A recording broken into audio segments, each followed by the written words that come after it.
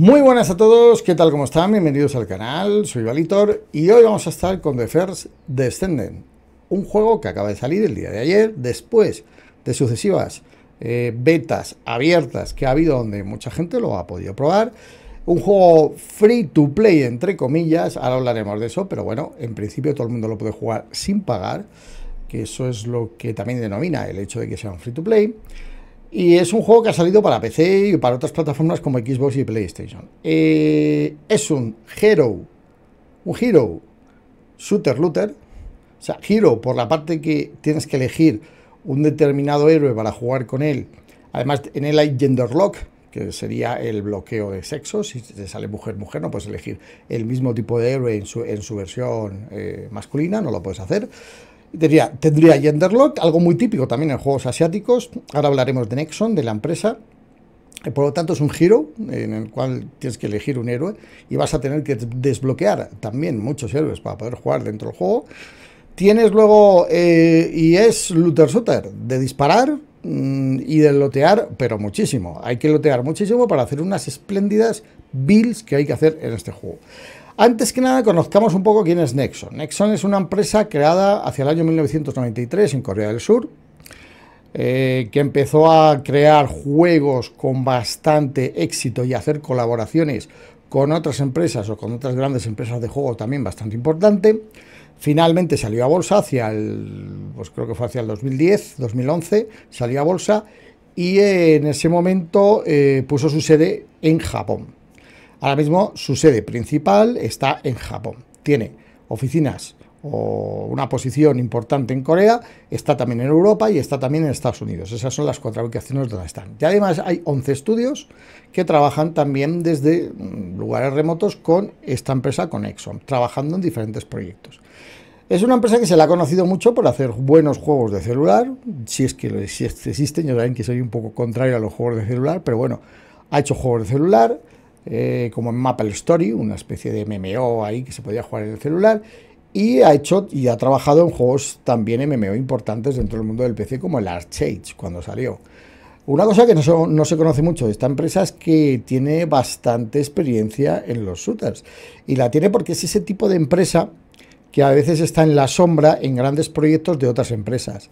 Por ejemplo, Nexon ha participado en varios Counter-Strike, ha participado en Final Fantasy, también incluso en el FIFA eh, de fútbol, entonces ha participado también. Entonces hay bastantes proyectos que no se conoce, eh, o sí se conoce, pero uno no anda buscando quién participó, sino quién lo hizo. Y también tiene otra serie de juegos, eh, sobre todo muchos destinados al mundo del celular, incluso juegos para plataformas exclusivas como Facebook, etcétera. Bueno, pues ayer decidió Nexon, después de mucho tiempo, sacar este juego en, eh, Steam en cuanto a PC, tiene eh, PlayStation y Xbox. Y en Steam tiene comentarios variados ahora mismo por diferentes razones. Eh, los comentarios variados vienen mucho por la parte de los pagos, de la monetización, otros por la parte de la optimización, también, que se quejan un poquito con la optimización del juego. Y, ahora los analizaremos, porque la idea sería un poco en este vídeo hablar primero de lo positivo que yo veo en el juego y luego de los puntos, que no son pocos, negativos que también tiene este juego.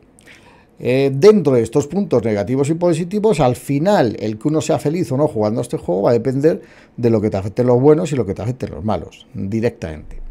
Gráficamente el juego se ve bastante bien, sobre todo desde las betas que tuvimos, eh, donde el juego se movía de una manera un poquito tortuosa. Ahora, eh, insisto en que ha habido muchos problemas técnicos con, eh, con, algunos aspectos que de eso hablaremos después.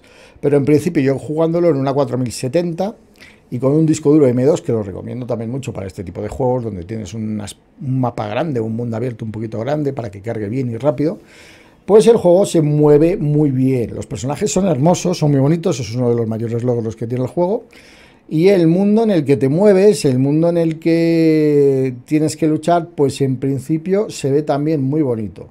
Sí que es cierto que a la larga, por lo menos hasta ahora, y después de llevar bastantes horas el juego, el mundo tiende a ser un poco del mismo estilo, repetitivo del mismo estilo, o sea, abierto, como tú vas con un gancho y dando saltos porque que te facilite eso, cuevas determinadas, estrechas, que llegas a áreas grandes para luchar contra bosses y todo ese tipo de cosas.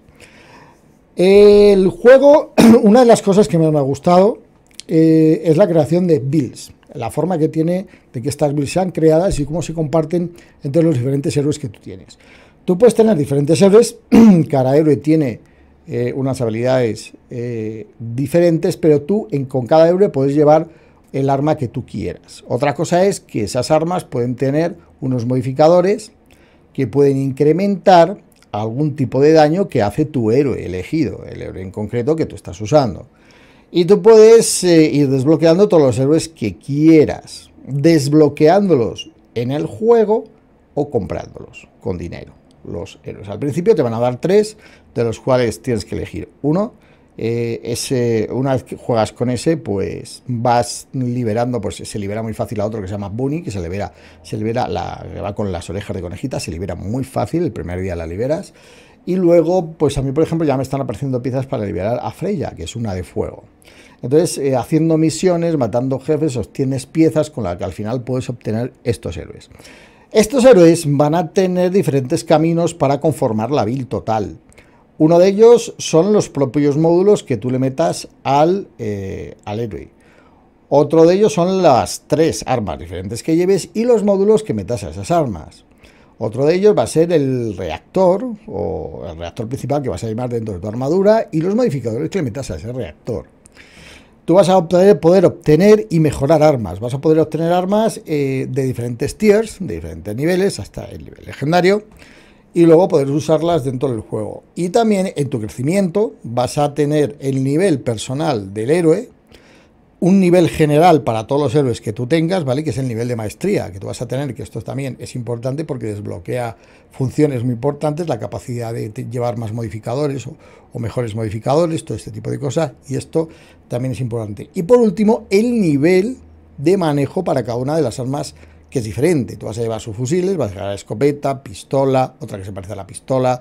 Eh, eh, hay como un francotirador, otro que es el, eh, creo que es el rifle táctico que se parece al francotirador, luego tienes el, el cañón cortado. O sea, hay muchos tipos de, de armas eh, y muchos tipos de diseños con las armas. Según vas evolucionando en el juego y vas obteniendo mejores armas, te suelen salir armas ya diferentes, eh, de otro tipo y tal, dentro del mismo estilo. Si tú usas mucho el subfusil, pues irás subiendo la maestría en el subfusil. Si tú usas mucho el sniper, el francotirador en este caso, pues lo mismo. La pistola, lo mismo, y así cada uno. No hay armas de melee en el juego, aunque sí hay algunos héroes que tienen algún golpe eh, de melee. Bueno, de hecho todos tienen un golpe de melee, ¿vale? El típico golpe de culatazo, etcétera, todo el mundo lo tiene, pero aparte hay algún héroe en concreto que puede tener un golpe similar a un golpe de melee, ¿vale? También los pueden tener dentro del juego. Con lo cual, una de, los, de las partes más enriquecedoras, más interesantes del juego es la gestión por un lado de los héroes que tú tienes y por otro lado la gestión de sus builds. De hecho, cuando tú tienes un héroe y cambias a otro héroe, que eso lo puedes hacer no inmediatamente, no es de esos juegos que cambias, aparece el otro héroe, no. Tienes que ir a un menú, cambias el héroe eh, cada héroe, la diferencia que va a tener es, como digo, es el nivel, el nivel individual del héroe, el nivel de manejo de las armas que tiene ese héroe, porque a ese héroe le puedes dar otra build de armas perfectamente. Pero, por ejemplo, las armas que ya estás utilizando, los modificadores, todo eso lo terminas de compartir en el mismo héroe, el reactor, todo eso lo compartes en el mismo héroe y no tienes que estar cambiándolo. El juego es mucho de lotear, eh, de obtener eh, mejores armas de mejor nivel y de mejor color y de las que no quieres las tienes que romper o romper o vender para obtener materiales o dinero que luego vas a necesitar para mejorarlo con los modificadores o para comprar algunos objetos de interés que pueda haber en la tienda, en la plataforma principal donde nos dan pues las misiones y nos dan todo eso. El juego es frenético, es divertido, es eh, adictivo incluso la parte del movimiento, de cómo se mueven los personajes, eh, la lucha, lo divertido. Eh, a mí me, es una de las cosas que más me ha gustado. De hecho, a mí el juego me ha gustado, sobre todo por eso. Es muy divertido eh, ir con el personaje que tú has creado. Tienes, vas, vas, a tener una cantidad muy grande de cosmetizaciones dentro del juego. ahora hablaremos de la parte de la monetización porque el juego es pay to fashion. Ya hablaremos de muchas cosas en ese sentido. Pero una de las cosas que más me ha gustado y que más me ha divertido el juego es la movilidad cómo disparas, eh, diferentes tipos de habilidades que puedes ir teniendo. diferentes tipos de armas con diferentes tipos de munición también que podéis ir teniendo, va recuperando munición, va recuperando vida y demás. Los grupos son de cuatro en cooperativo, Tú puedes ir solo por el mapa y juntarte a alguien que está jugando de repente en una misión, coges y te unes a ellos. Puedes directamente desde la nave entrar en alguna misión especial, en las operaciones especiales, en las cuales directamente hace matchmaking y te metes con un grupo, o puedes unirte a tus grupos con el juego cruzado de PC a consolas, ¿vale? Puedes hacerlo de todas las maneras. Y en esa parte el juego es muy divertido. Todo el diseño eh, me ha gustado bastante. En ese sentido, el juego promete mucho y, yo creo que podría tener futuro. Recordemos que este juego estamos en una pretemporada de ocho semanas, que luego vendrá seguida de temporadas de tres meses en las que agregarán nuevos héroes, se supone que algún mapa nuevo, no sé si algún modo de juego, cosas de este tipo, ¿vale? Y sobre todo un buen nuevo pase de temporada. El pase de temporada es un pase de esos que te lo dan dosificado, de esos que tienes que ir jugando todos los días o no puedes dejar de jugar mucho tiempo porque te quedas atrás en el pase, porque te van dando misiones muy sencillas que tienes que hacer durante el día, de matar tanto, hacer tanto, conseguir tanto oro y tal, para ir avanzando en el pase. De manera que no puede llegar una persona y en dos días hacerse todo el pase. No, está limitado, ¿vale? Y, y eso no me disgusta. Eso está un poco para que la gente no se lo acabe en dos días el pase precisamente y un poco para tener la sensación durante toda la pretemporada, en este caso, de que existe un pase de temporada que hemos comprado por 10 euros y que está ahí, ¿vale? Y lo que aporta el pase es interesante, bueno, hay emoticones, hay materiales, hay colores para hacer recolors, a tanto a descendientes como a armas de descendientes, eh, y sobre todo hay algunos skins de armas muy interesantes, la verdad. Y eso que las armas básicas que trae el juego, los skins no están nada mal. Pero hay unos skins bastante interesantes eh, en ese sentido que el juego pues también puede ir aportando. Pues hasta aquí, esto es todo lo positivo del juego. Yo ayer, por ejemplo, empecé, solo, se me, solo me el juego una vez, estuvimos haciendo cerca de, mm, pues yo creo que ayer estuvimos casi con 10 horas de directo, entre dos directos que tuvimos en el juego, y solo se me craseó en una ocasión, aunque tengo que decir que sí que está dando algún problema eh, a veces el unirse a la partida de otro jugador. A veces da algún problema o hay algún bug que parece que estás en, dentro del grupo y no lo estás, tienes que sacarlo, volver a meterlo en el grupo y todo ese tipo de cosas. Entonces, esa es una parte que hay tienen que ir cuidando, tienen que ir arreglando porque ya ha habido bastantes betas para que lo mejoren. De hecho, en las betas se les mencionó mucho todo el tema de los grupos, que hicieran una manera más fácil para hacer grupos, que tal que cual. Y yo, yo no creo que esté mal ese sistema, pero sí que tiene algún puntito de mejora interesante, ¿vale? El juego. Entonces, en Steam, ¿qué es lo que pasó? En Steam, primero, hay, parece ser, algunos computadores, eh, no sabemos por qué, pues si lo supiéramos, pues lo diríamos encantados, cuyo rendimiento no va bien, no está yendo bien.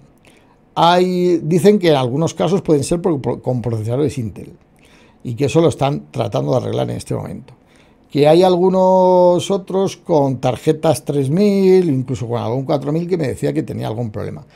Es muy difícil y siempre hay quejas en Steam del tema de la optimización de los juegos. Yo en mi equipo me vuela, me corre estupendamente y lo tengo todo ultra máximo excepto el ray tracing, ¿vale? Yo estoy con una Nvidia 4070 y estoy todo, todo, todo, menos el ray tracing, porque el ray tracing me quita la mitad de los FPS y no me da mucho, con lo cual lo quité totalmente, el menos el ray tracing, ¿vale?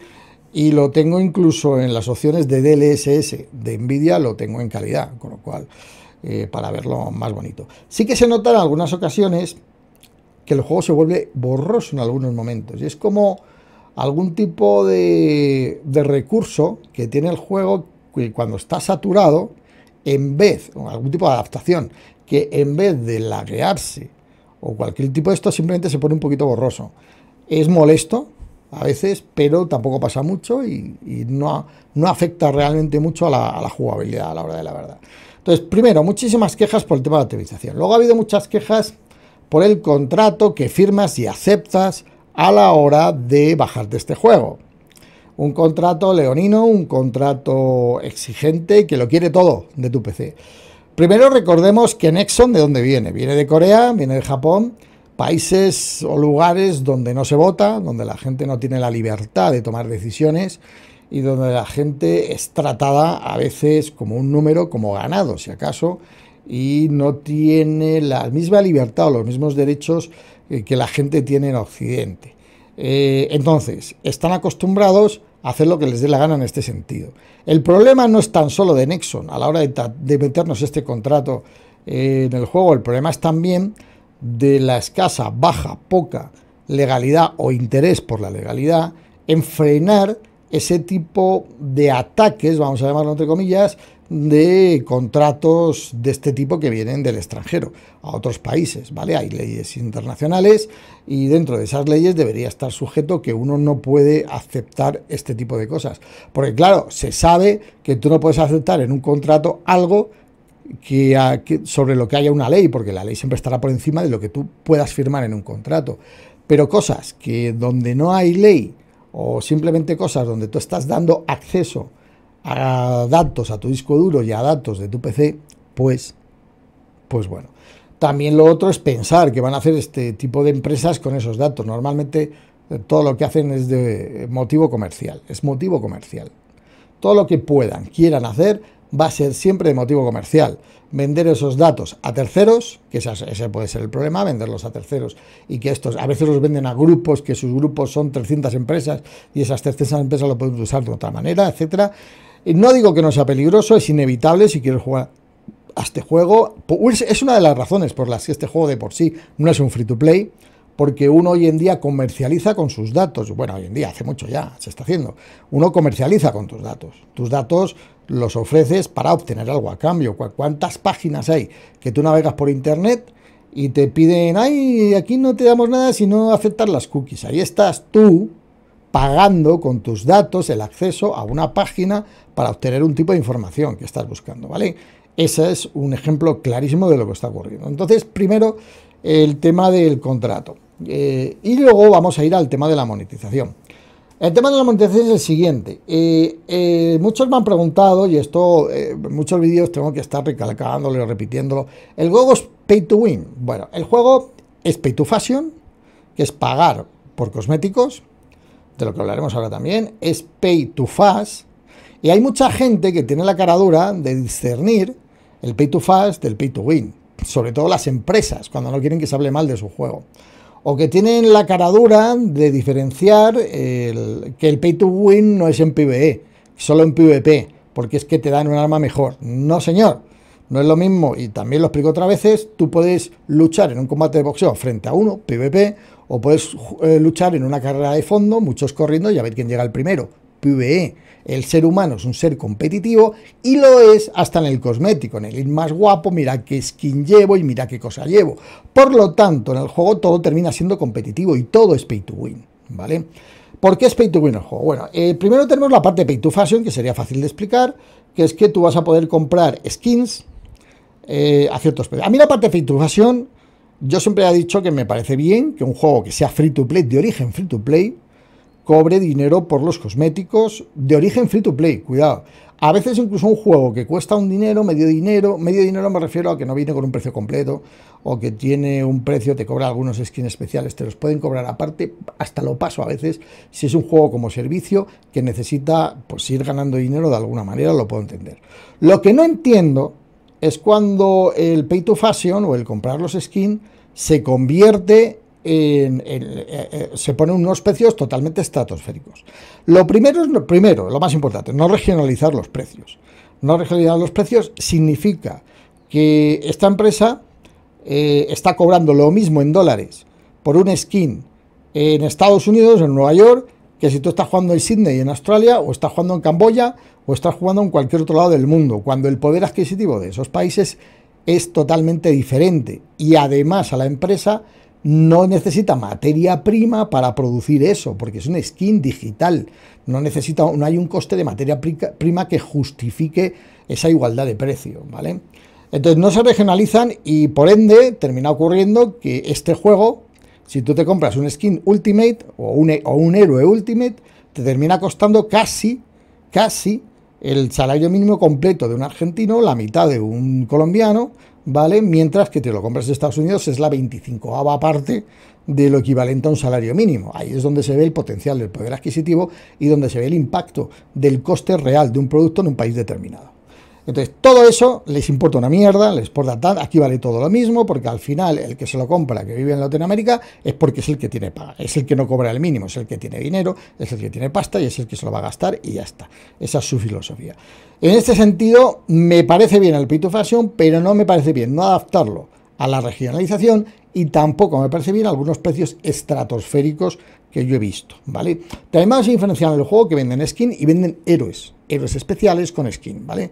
Porque sí, hay skins que vienen a costar 40, 50 dólares, skin, y otros que cuestan muy poquito. Pero también hay héroes que te venden aparte eh, que cuestan 100 dólares. 100 dólares, señores. 100 dólares un héroe. Otros me dirán, es que no es pay to win porque se puede conseguir en el juego. Bueno, punto uno, no todo se puede conseguir en el juego. Sí es cierto que hay muchas cosas que se pueden conseguir en el juego, pero es que una cosa no exime de la otra. El hecho de que algo se pueda conseguir en un juego después de haber sudado mucho, después de haber hecho 500, 600, 2000 misiones, ¿vale? 2.000 misiones, no exime de que llegue una persona con su cartera el primer día y pueda tener lo que tú has obtenido después de todas esas horas. Eso sigue siendo pay to fast, pay to win y sigue siendo la misma vaina. Sigue favoreciendo al que pone dinero en el juego.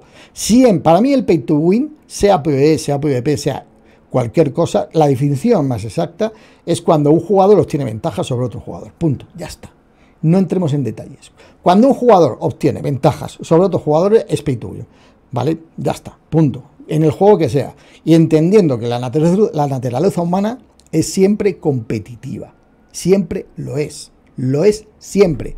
Y si tú eres un ser humano que no eres competitivo, eres muy raro, ¿vale? Eres muy raro. Bueno, eh, entonces, ya hemos hablado de muchas cosas positivas que tiene el juego, hemos hablado de partes de la monetización y cosas importantes que, tiene la monetización del juego. El aspecto técnico supongo y entiendo que lo irán mejorando, aunque me preocupa que no lo hayan hecho después de las betas. Me preocupa que no lo hayan hecho después de las betas, pero bueno, yo entiendo eh, tal. Vamos a hablar entonces, conclusiones generales y futuro del juego. Conclusiones generales. A mí el juego personalmente me ha gustado. Yo como saben, soy un ser netamente asertivo, soy un ser que a pesar de que una cosa me guste, yo siempre voy a decir lo bueno y lo malo. O sea, yo no me corto, yo no pongo flores, yo no adorno las cosas. Yo porque tenga un canal de un juego no voy a hablar siempre bien del juego, no vaya a ser que la gente se me vaya, esos son gilipolleces de mentalidades de youtubers mediocres, eso tampoco es, eso tampoco es. O sea, aquí se dicen las cosas claras, ¿vale? Se dicen las cosas como son, ¿ok? A mí el juego me ha gustado, me divierte, eh, ¿Voy a seguir jugando? Sí, me está gustando muchísimo. Yo le he invertido algo de dinero, honestamente. Yo me habré gastado ya unos 60, 70 dólares, que sería lo equivalente a un juego AAA. Ya me lo he gastado en un par de personajes, un par de cosas, porque me apetecía jugarlo con un par de cosas y un par de, de cositas que teníamos, que teníamos ahí en el juego. Entonces, yo en ese sentido lo he hecho y estoy disfrutando del juego. High-end. El juego tiene un high-end. El juego, vamos a algún lado. Pues es un. Hay una serie de mapas, no muchos, una serie de mapas que te vas desbloqueando. Luego esos mismos mapas los vas a tener que hacer en dificultades superiores para obtener objetos superiores, ¿vale? Y hay un crecer, crecer de Twill, un crecer, crecer, para también terminar matando unos colosos o unos bichos enormes que hay en los mapas y para obtener otros mejores y tal. Al final, uno de los high-ends posibles del juego, el más, el más real, yo creo, porque le llegaron a preguntar a uno de los desarrolladores le van a preguntar, oye, eh, ¿qué tenéis pensado en el high-end del juego? Y su respuesta fue, vamos a meter más héroes. Entonces, uno de momento se queda diciendo, ¿cómo? Que tiene, que tiene que ver muchísimo. O sea, uno de los high-ends realmente del juego es llegar a tener todos los héroes, o la mayoría de héroes posibles, desarrollados, subidos y con unas builds estupendas. Eso es uno de los mayores high-end o de los mayores eh, objetivos que hay en el juego. Formar esas builds, poder ir a matar a jefes de una manera más eficiente, carrear incluso a gente, porque este juego se puede carrear a la gente perfectamente y hacer todo este tipo de cosas. Entonces, yo diría que uno de los objetivos finales del juego es ese, uno de los más claros. Eh, la historia es floja, que no, hemos hablado de la historia, la historia del juego es floja, suficiente Vamos a decirla así, la típica historia que te mete en suficiente, que mucha gente se la pasará pim, pim, pim, con la barra espacio pasándosela. No está mal, es bueno entenderla para entender el lore y sentirse más inmerso dentro del juego. Eh, pues yo creo que es importante también entender un poquito la historia. Yo la leí bastante en el beta y ahora me la he saltado un poquito, tengo que reconocerlo desde ayer, pero bueno, la historia está en ese sentido bastante y suficiente, no es interesante, suficiente, está bien ahí, con sus personajes eh, tal y suficiente, ¿vale? La historia. En, definitiva, a mí el juego sí me, ha sí me ha gustado, pero yo como siempre hago vídeos de este tipo, tengo que dejar claro lo siguiente, hay muchos tipos de jugadores, Eh, hay jugadores, yo voy a explicar a qué tipo de jugadores le puede gustar este juego. Si eres un tipo de jugador que le gusta mucho los shooters y le gusta mucho el farmeo, este jugador te va a encantar. Si no te gusta hacer tareas repetidas, porque el precio, la ilusión de hacer estas tareas repetidas es obtener mejores ítems sucesivamente, el farmeo, ¿vale? Pues entonces este juego te va a gustar. Si te gustan los personajes de origen anime, incluso con toques kawaii, este juego te va a gustar. Si te gusta jugar en cooperativo, en misiones diferentes, con amigos y tal, este juego te va a gustar. ¿vale? ¿Cuándo no te va a gustar? Si estás buscando una buena historia, si estás buscando muchos diferentes tipos de juego, no te va a gustar, porque no los tiene.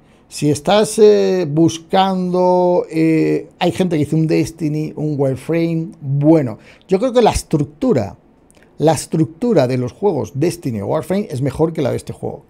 Este juego, la estructura no está mal, es una estructura muy repetida, o sea, es cuando acabas un mapa eh, los siguientes acabar el mismo mapa pero de diferente nivel, algo que es muy típico en juegos de celular, en este tipo de filosofías, ¿vale? Eh, yo creo que el Warframe o el, o el Destiny son juegos mucho más estructurados en este sentido. Creo que el juego no está mal y que te puede dar muchas horas de diversión, pero no te, no te va a dar, no creo que este juego vaya a dar tantas horas de diversión como puede dar uno de los otros dos que hemos mencionado. Y con el tiempo se verá, con el tiempo y las nuevas temporadas que vayan implementando de tres meses, pues se verá. Con el tiempo se verá qué es lo que incorporan al juego, que le van agregando, aparte de héroes, porque si lo único que me viene es, en una temporada nueva metiéndome un, coloso nuevo, que es un jefe final nuevo, un coloso nuevo y, dos personajes de pago, pues joder, no, méteme contenido, méteme historia, méteme mapas, modos de misión, modos de juego, que, que no es que los modos de juego, hay varios modos de juego, pero todos se parecen mucho entre sí, entonces al final no da la sensación que realmente en el juego hay muchos modos de juego, Entonces eso también es una parte también bastante importante, ¿vale?